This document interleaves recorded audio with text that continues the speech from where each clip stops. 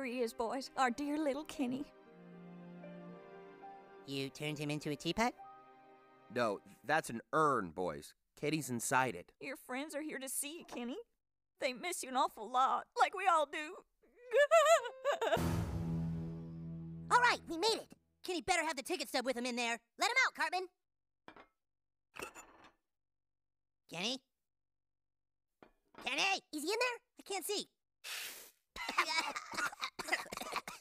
what the hell is this? Chocolate milk mix? I knew Kenny couldn't fit in that teapot. It was a trick. God damn it, this isn't even good chocolate milk mix. Just have to face it, we're not gonna get Kenny back and we're not gonna have our shopping spree. It's over. God damn it, there has to be a way. Hmm.